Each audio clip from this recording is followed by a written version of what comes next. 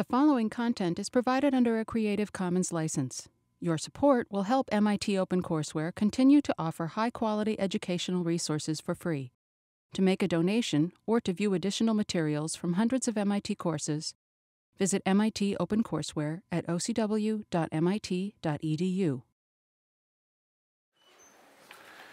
I guess last time on Friday we went over the first half of the class very quickly. And so today we're going to go over the second half of the class very quickly. Okay, so that was stuff about double and triple integrals and vector calculus in the plane and in space. So as usual, what's on the final, basically what was on the hour test, exactly the same stuff. Well, not the same problems, unfortunately, but um, so the first thing we learned about was double integrals in the plane and how to set up the bounds and how to evaluate them.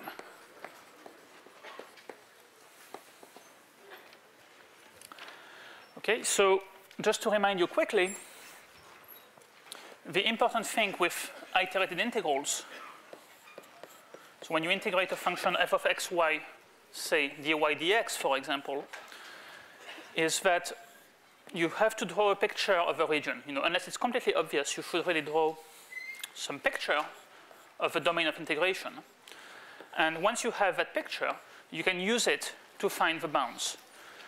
So remember the general method is that we first look at the inner integral. So here, integral of f dy, and in this inner integral, the outer variable here, x, is fixed. So that means we are slicing our region by a vertical line corresponding to a fixed value of x. So we fix a value of x.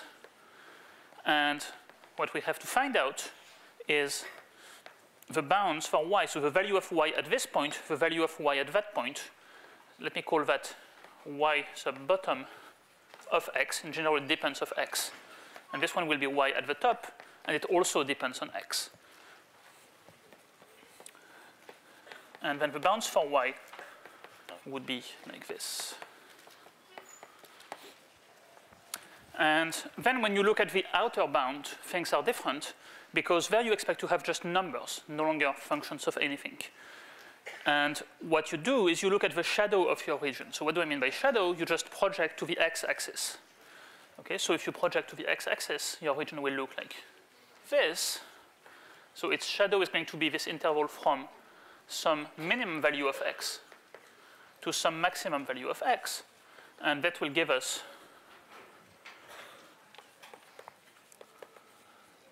the bounds to, sorry, the bounds for the outer integral.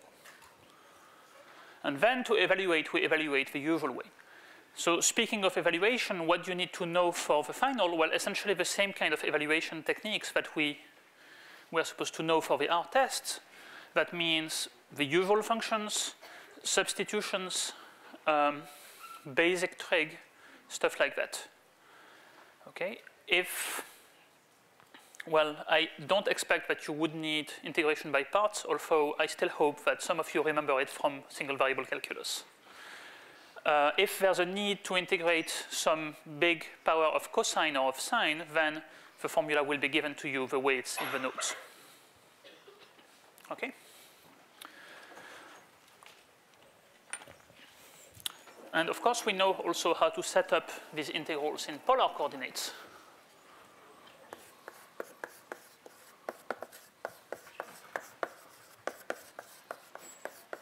And then the area element becomes r dr d theta. And because you integrate first over r, well, first of all, you should remember you know, the polar coordinate formulas, namely x equals r cosine theta and y equals r sine theta.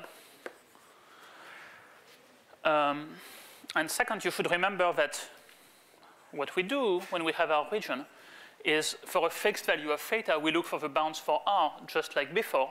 So the way we're slicing the region is now we're actually shooting rays straight from the origin, and in a given direction, we're asking ourselves, how far does my region go? So you have to find a bound, you have to find whatever the value of r will be out here as a function of theta. And ways to do that can be geometric, or that can be by starting from the xy equation of whatever curve you have, and then expressing it in terms of r and theta and solving for r. So for example, just to illustrate it, we've seen, you know, one of our like classics has been the circle of radius 1 centered at 1, 0. So this guy, you have two different ways of getting its polar coordinates equation. One is to argue geometrically that you have a right angle in here, and this length is 2, this angle is theta, this length is r, so the polar equation is r equals 2 cosine theta. The other way to do it, if somehow you're missing the geometric trick, is to start from the xy equation. What's the xy equation of this guy? Well, it's x minus 1 squared plus y squared equals 1. So if you expand that, you'll get x squared minus 2x plus 1 plus y squared equals 1. The y's, sorry, the 1's simplify. x squared plus y squared becomes r squared minus 2x becomes r cosine theta equals 0. That gives you, when you simplify by r, r equals 2 cosine theta. Two ways to get the same polar equation.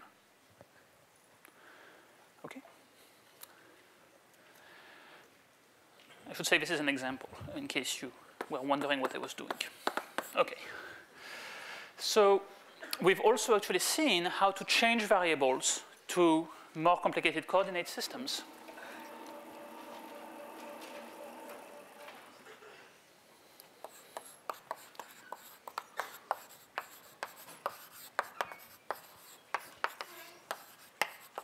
let's say UV coordinates, but of course you can call them whatever you want. Um, so the main thing to remember is that you have to look for the Jacobian, which will give you the conversion ratio between dx dy and du dv. So for example, if you know u and v as functions of x and y, then you will write du dv equals absolute value of the Jacobian partial uv over partial xy times dx dy. Or if it's easier for you, you can do the Jacobian the other way around. And this Jacobian, remember, is the determinant of a 2 by 2 matrix that you obtain by putting the partial derivatives of u and v with respect to x and y. So then, when we have that, we can change the integrand f of xy into something involving u and v, possibly. And then we have to find the bounds. And to find the bounds, perhaps, perhaps the easiest is to draw a picture of a region in UV coordinates. So, you know, maybe you have some picture in the xy plane that might actually be really hard to draw. And maybe in, the, in terms of u and v, the picture will become much simpler. It might just become a rectangle. Of course, if you see immediately what the bounds are in terms of u and v, and they turn out to be very easy, then you may, maybe you don't even have to draw this picture. But if it's not completely obvious, then that might be a helpful way of figuring out what the bounds will be when you switch from xy to uv.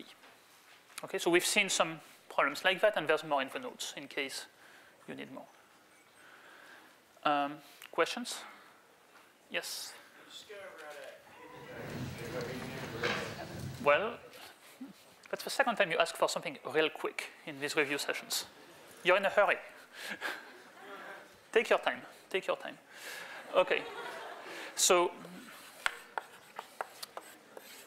partial uv over partial xy, that's just going to be the determinant of u sub x, u sub y, v sub x, v sub y. That's the definition. Okay? That's pretty direct. Okay, and of course, a general common sense thing that applies to actually all the integrals that we are going to see there's two things in an integral. One is whatever you integrate, it's called the integrand. It could be a function here, it's a vector field in some of the flux things and so on. And there's another thing which is the region over which you integrate. Okay, and the two have strictly nothing to do with each other. So, you know, when you're given a piece of data in the statement of a problem, you have to figure out whether that's part of a function to be integrated or whether that's part of the region of integration. If it's the region of integration, then it will go into the bounds of the integral and maybe in the choice of the coordinate system that you will use for integrating. While the function that you're integrating goes, you know, before the dx dy and not into the bounds or anything like that.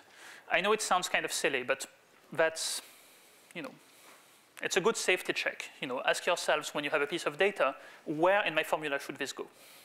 Yes?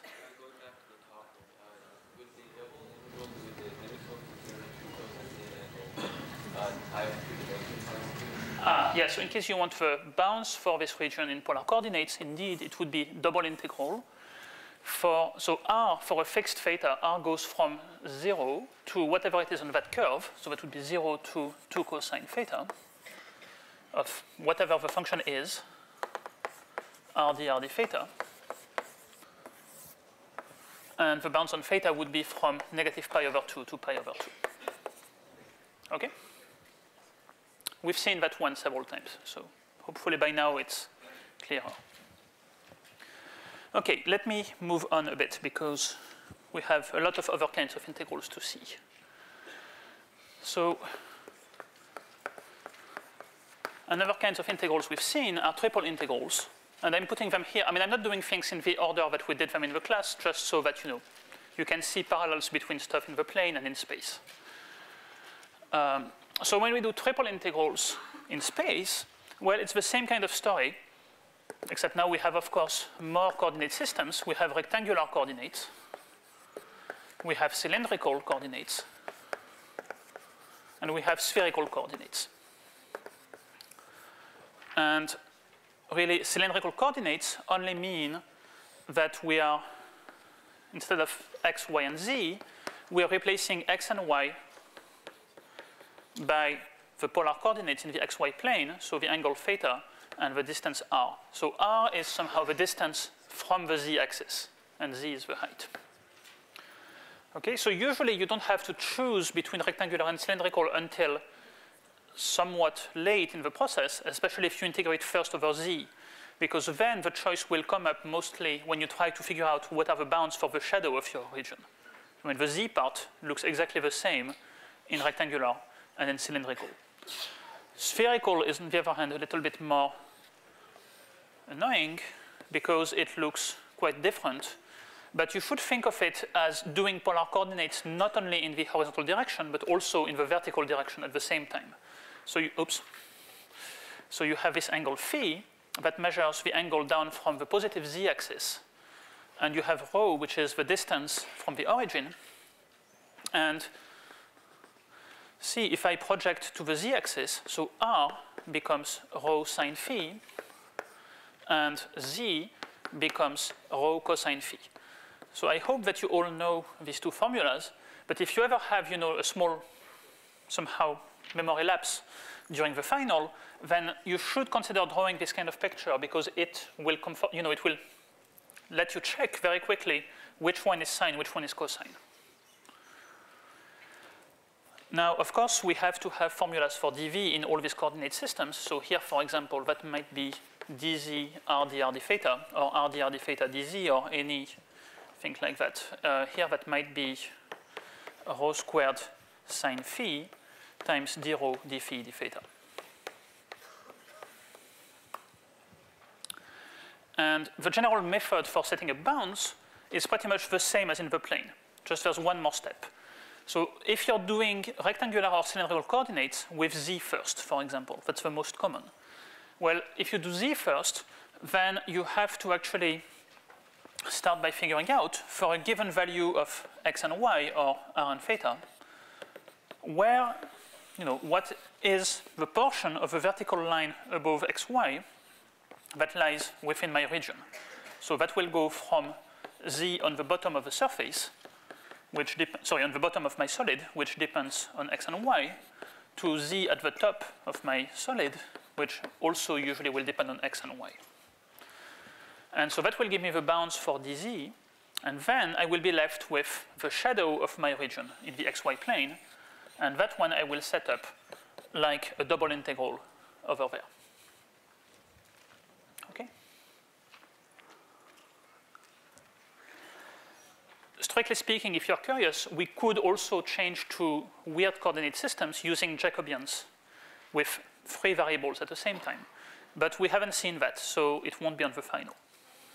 But it would work just the same way, just with more pictures to draw.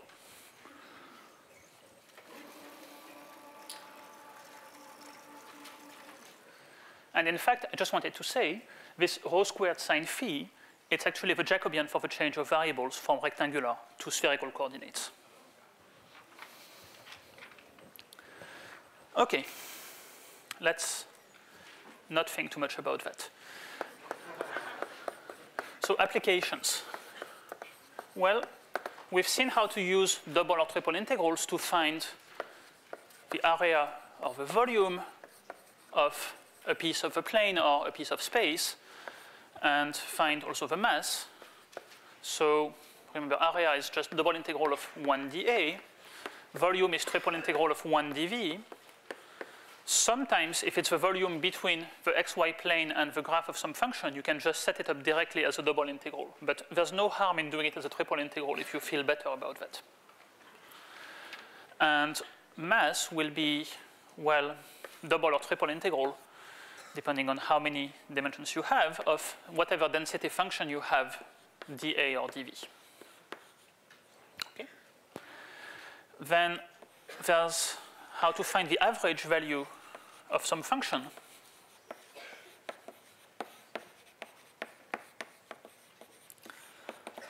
And so the unweighted average, well, let me do the three-dimensional case, okay? You'll just replace volume by area and dV by dA and so on if need be. Um, so that would be 1 over volume of a solid times the triple integral of f dv, or if it's a weighted average, 1 over mass times the triple integral of a function times density times dv.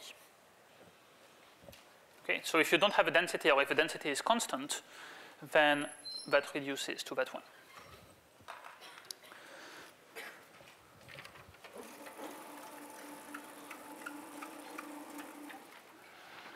Others we've seen, uh, well, so in particular we've seen the notion of center of mass. So the center of mass is just given by taking the average values of the coordinates, x bar, y bar, x bar, y bar, z bar. So it's just this formula, but taking x, y, or z as the function. There's moments of inertia.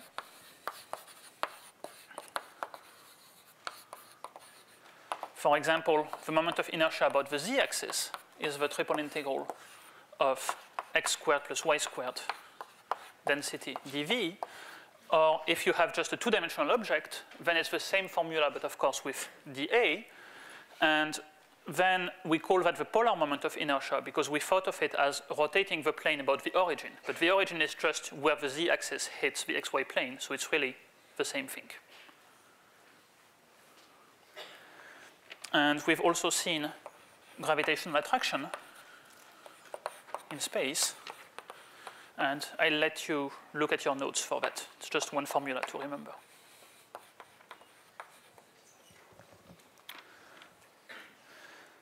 Okay. Um, questions about iterated integrals, things like that?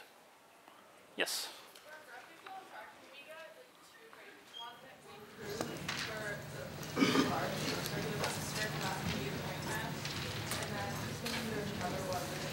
Uh, so, okay, so what I mean, okay, so the formula that you should know about gravitational attraction is that if you have a point mass at the origin, and you have some solid centered on the z-axis that's attracting it, then the force will be given by sorry, g times the mass times the triple integral of density times cosine phi over rho squared times dv.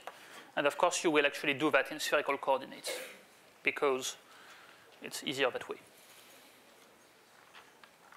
Okay, that's the formula I have in mind. But see, all these formulas just give you, you know, examples of things to integrate. And how to set up the bounds and so on does not depend on what you're actually integrating. It's done always using the same methods. Okay, let's move on. Um, work and line integrals.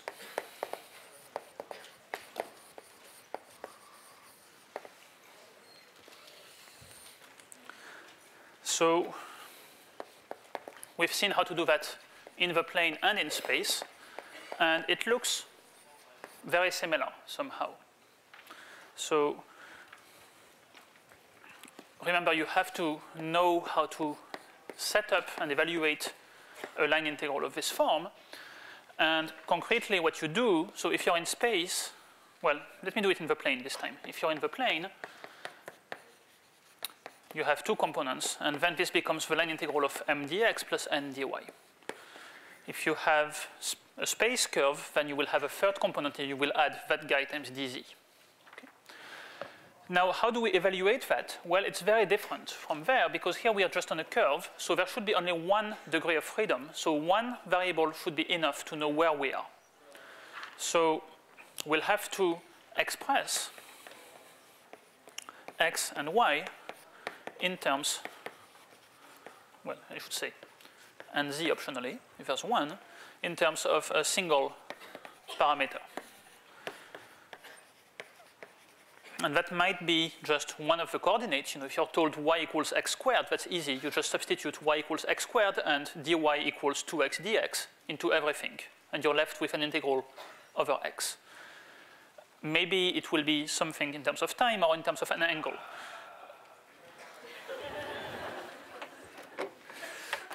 Some people are having a lot of fun there.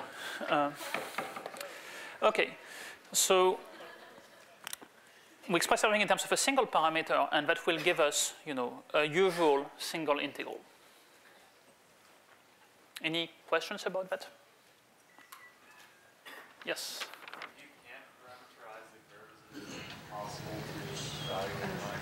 So if you can't parameterize the curve, then it's really, really hard to evaluate the line integral because, you know, well, you might be able to evaluate it numerically into a computer, uh, but most likely, I mean, that's, you know, that's the easiest way to describe a curve. So indeed, it could be that in the plane, you have an equation in terms of x and y given by some complicated formulas defining some curve.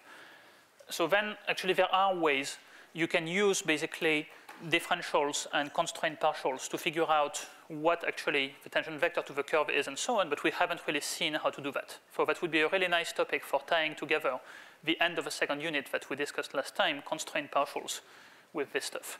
But that's not going to be part of our topics. So basically, I mean, all the curves that we've seen in this class, there's a way to express the position of the point in terms of a parameter. We haven't seen any curves that are so complicated that you can't do that. Okay. Um, what else?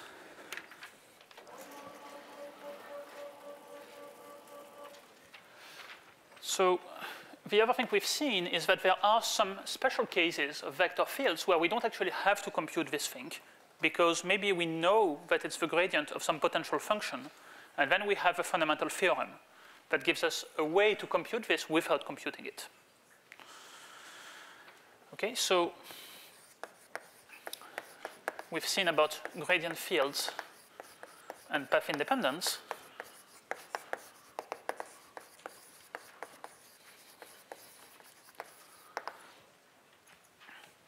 So we've seen that if, so the thing to check is whether the curl of our vector field is zero. Okay, and remember in the plane, that's one condition and x equals M y. In 3D, in space, that's actually three conditions. Because you have to check all the mixed partials of the various components. So if the curl of f is zero, that tells us we are likely to have a gradient field. Strictly speaking, I should mention, and f is defined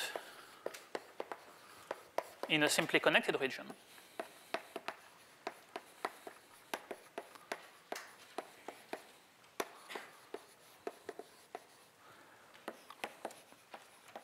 Then f is a gradient field.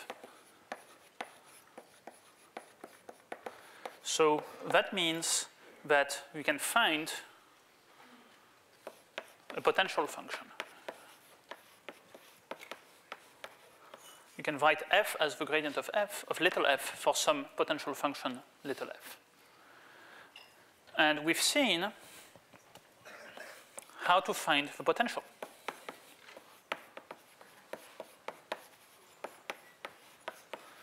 In fact, we've seen two methods for that. And we've seen them twice. We've seen them once for functions of two variables, once for functions of three variables. They look very much the same. I encourage you to compare your notes for the two side by side to see where they differ. Okay, so where they differ, roughly speaking, the first, well, I never know if it's the first or the second, but one of the two methods was to compute a line integral. So in the plane, what we did is we set up and evaluated a line integral along our favorite path from the origin to a point with coordinates, say x1, y1. And then we had to evaluate the line integral for the work done along this path, and that will give us the value of the potential at that point.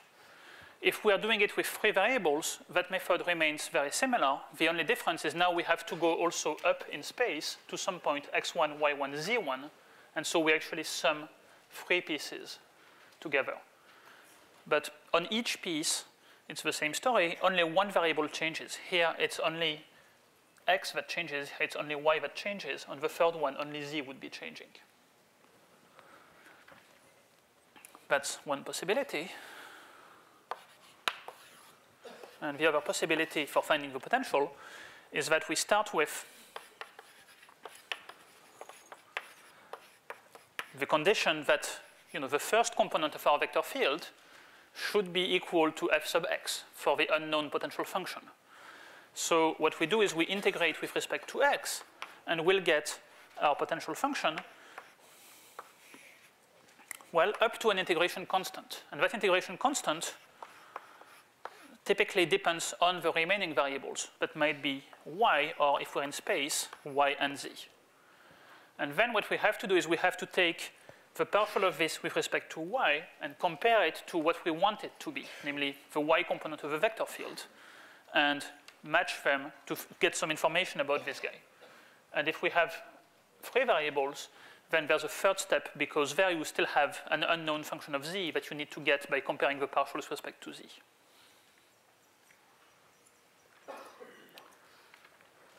Okay? I see a lot of very quiet faces somehow. Um, well, hopefully that's because you know that stuff. If it's because you're hopelessly confused, then please review a lot before the final. But I really hope that's not the case.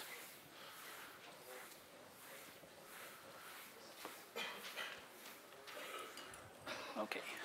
So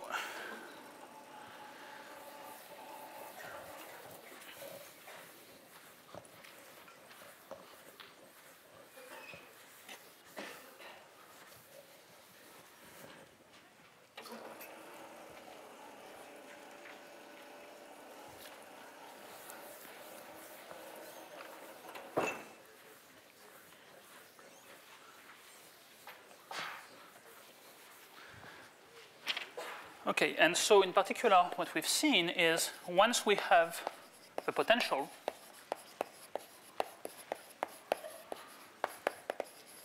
then we can use the fundamental theorem of calculus to tell us that if we have a line integral to compute for work along a curve that goes from some point p0 to some point p1, then the line integral for the work done by gradient f is actually going just to be the change of the change in value of the potential. And in particular, that doesn't depend on how we got from P0 to P1. That's why we say that we have path independence.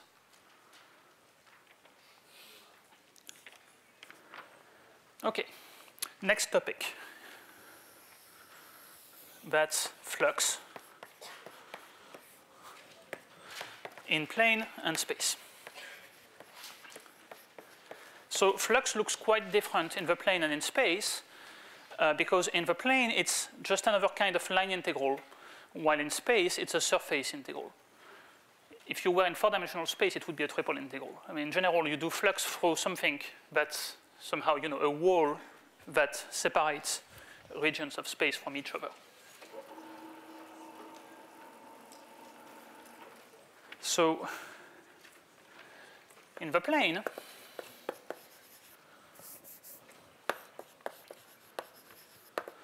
the way we do it is we have a curve C and we look at its tangent vector, let's call that T, and we rotate it by 90 degrees clockwise. That's our convention to get a unit normal vector that points to the right of the curve as we move along the curve. Okay, so that's our convention for orienting curves, and we're always going to be using that one. Okay, so n equals t rotated 90 degrees clockwise. So in particular, that means that nds, which will be you know, what we integrate against when we try to compute flux, that will just end up being dy comma negative dx. Okay, so concretely, when we have to evaluate a line integral of f dot n d little s, so geometrically, we could try to take the dot product of our field with the normal vector and then sum the length elements along the curve. And in some cases, for example, if you know that the vector field is tangent to the curve, or if the dot product is constant, or things like that, then that might actually give you a very easy answer. But in general, the most efficient way to do it will be to say that, you know, if your vector field has components, I don't know, let's call them P and Q, then that will be just the line integral of pq dot dy comma negative dx, which means negative q dx plus p dy. And from that point onwards, you evaluate it exactly the same way as you would for a work integral. But of course, the geometric meaning is very different. It's the same meaning that we've always seen for flux. It measures how much the vector field goes across the curve. Okay?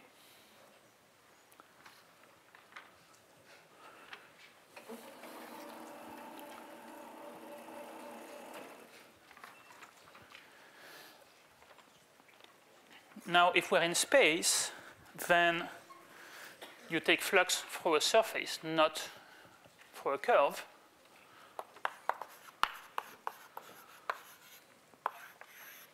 And the way it will work is that you have to choose an orientation of the surface, which just means choosing one of the two possible unit normal vectors. And then you will do a surface integral for f dot n ds. So that's the surface area element. So the setup for this surface integral is that first we have to express n and ds in some way.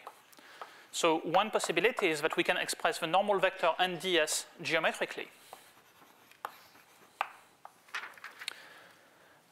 That's, for example, what we do when we look at, say, a horizontal plane or a vertical plane or um, a sphere or a cylinder, then we have some geometric idea of why the normal vector is what it is. And we have some formula for ds. Or we can use one of the standard formulas. So basically, we've seen two formulas that work in fairly general situations. So one of them says, sorry, we need more space for that. So if S is given by an equation z equals some function of xy, then you can just say nds equals minus f sub x minus f sub y 1 dx dy, and I need to rewrite that because I'm running out of space. Um, but while I erase, I would like to point out the most important thing in here. Okay, when I say nds equals blah blah blah times dx dy, dx dy is not the same thing as ds at all.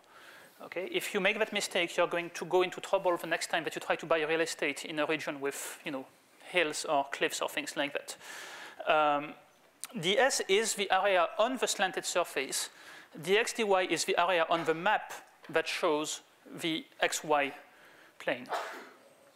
And these are not the same thing. So in particular,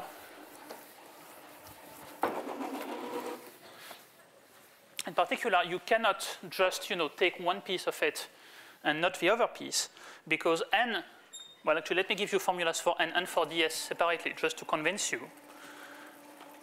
And that way, you know, if you feel that you need them, then you'll have them.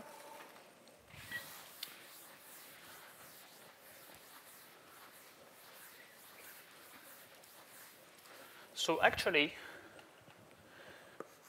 n is minus f sub x minus f sub y comma 1, but scaled down to unit length. This is not a unit vector.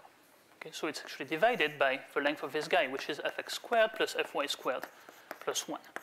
And ds is that same factor times dx dy. And so the two magically, you know, the square roots cancel out when you multiply them together. But it would be completely wrong to, you know, just say, I'll replace nds by minus f sub x minus f sub y and 1, and then I end up again with a ds and I do something else with ds. That's, uh, that's a pretty bad conceptual mistake because it gives you the wrong answer. Um, another option, more general than that, if we haven't seen how to solve for z, how to express z as a function of x and y, well, maybe we still know some normal vector to the surface. Then there's another formula for nds, which is up to sign n divided by n dot k dx dy. And see, actually, that projection formula works also if you have to project to another coordinate plane. For example, if you want to project to the xz coordinate plane, the relation between nds and dx dz is given by n over n dot j, because j is the direction perpendicular to the xz plane. But I mean, this one is more useful. Okay, so what's a good example of that is, for example, if you have a slanted plane given to you, you can easily find its normal vector. That's just given by the coefficients of x, y, z in the equation. Another situation where that might happen is if your surface is given by an equation of the form g of x, y, z equals 0. If that's the case, then you know this is a level set of g, and we know how to find a normal vector to the level set, namely the gradient vector is always perpendicular to the level set. So you would take the gradient of g to be your big N. Okay? So now, these are basically all the integrals we've seen how to set up. And now we have a bunch of theorems relating them. Okay, so let me think about how I'm going to organize that. Well, let me try like this. Okay, so this part of the board will be work. This part of the board will be about flux. And the left part of the board will be about things in the plane. The third, the right one will be about things in space. Okay, so what have we seen? Well, we've seen Green's theorem for work. Okay, that doesn't work so well because it's too small. So I'm going to actually use more blackboards to do that.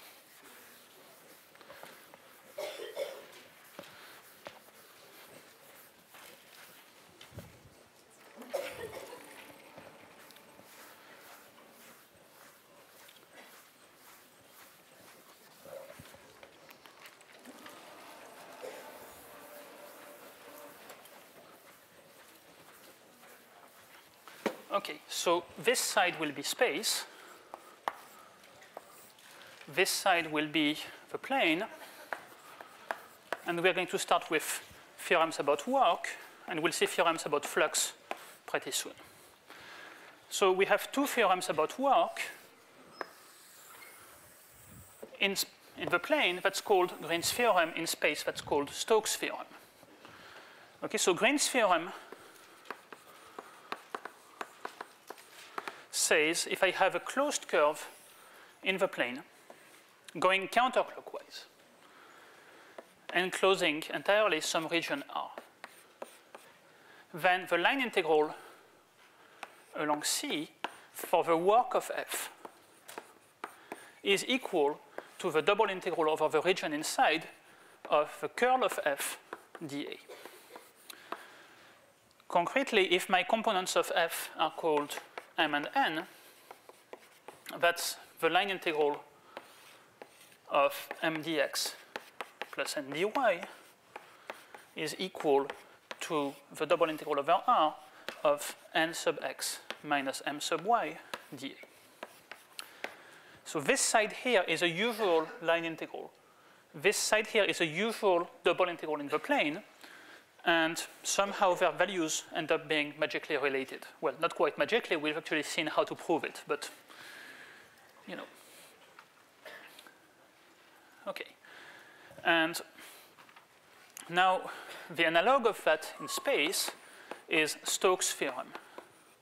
Stokes says if I have a closed curve in space, okay, so now I have to decide what kind of thing it bounds, and the answer is it will have to bound some surface, but I have a choice of surface. Okay, so I choose my favorite surface bounded by C. Well, I guess I'll just draw it like that. And I have to choose a compatible orientation. So we remember we've seen this right-hand rule for choosing how to orient the surface. Uh, I believe in this case, if I take C like that, then the normal vector has to go up. And then it tells me how to compute the work done by F along C. Namely, that becomes the double integral over that surface S of curl F, which I will write as del cross F dot nds. Okay, so this line integral, it's a usual line integral, but just, you know, if for some reason we don't want to compute it directly, we can actually replace it by a surface integral over any surface bounded by the curve. So it might be that the problem will tell you which surface you have to consider. It might be that you'll be left to choose the simplest possible surface you can think of that's somehow having this curve as its boundary. Okay, and so now remember, curl of a vector field in space is going to be another vector expression. It has three components. And the way you compute it is not by remembering the actual formula, which is really complicated, but by instead computing the cross product between del and f. So you set up the cross product. And of course, it's a highly symbolic cross product. I mean, it's not an actual cross product of actual vectors, but it works the same way. Okay, so both of these formulas basically relate work on a curve with what happens to the curl on the surface that's enclosed by this curve, that's bounded by this curve. And just in this one, you have less freedom of choice because you don't have somehow you know, a z direction in which you could move your surface. So there's only one possible choice of surface. There's only one thing that's enclosed by this curve in the plane. Uh, in both cases, that these things tell you that you can think of curl as measuring how much the field fails to be conservative. See, if your field was conservative, if the curl was zero, then the right-hand side would just be zero. And that would be fortunate because if the curl is zero, then your field is conservative. That means it comes from a potential. That means when you go along a closed curve, well, the change of value of the potential should be zero. I mean, another way to say it is path independence tells you no work. And of course, if you have a vector field that's not a gradient field, then the curl is not necessarily zero, and then you get a more interesting answer. Finally, let's move on to the theorems about flux. So that's Green for flux, and that's the divergence theorem.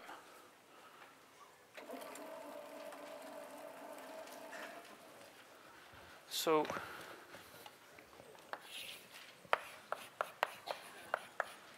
flux theorems. So here I say that will be divergence.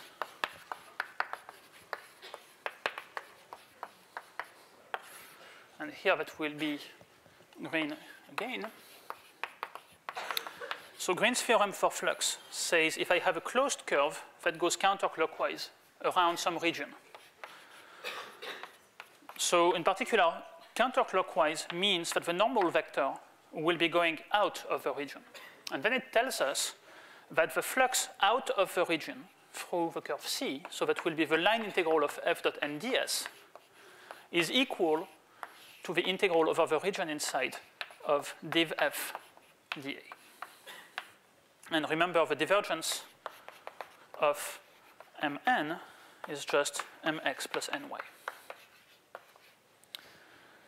This one here, the divergence theorem, tells you something similar, but now for a region of space bounded by a closed surface. So if you have some region of space, and you call its boundary surface S, and you let n be the normal vector that goes you know, out of the region R. So you orient S outwards. Yeah. Then the flux out of the region through S is going to be the same as the triple integral over the region of divergence f dv. Okay, and remember the divergence of a vector field with components p, q, r is px plus qy plus rz. So what do these two theorems say? Well, they say essentially the same thing. They say the total flux out of a region is equal to the integral of divergence over whatever's inside. And the reason for that is, again, we've seen for a velocity field, the divergence measures how much things are expanding or how much stuff is being created. It tells you the amount of sources per unit portion of the region. So when you sum that over everything, you get the amount of fluid that's being, you know, the total amount of sources inside here, and that tells us how much stuff has to go out per unit time. That's basically the interpretation. So in a way, I'd, I'd, be tempted to say that you know, this table of four theorems is somehow the culminating point of 1802. And you do well to remember them. However, I'd like also to point out that these theorems are completely useless if you don't know how to compute any of the integrals that are in there. So all the stuff that was around there before is actually somehow more fundamental.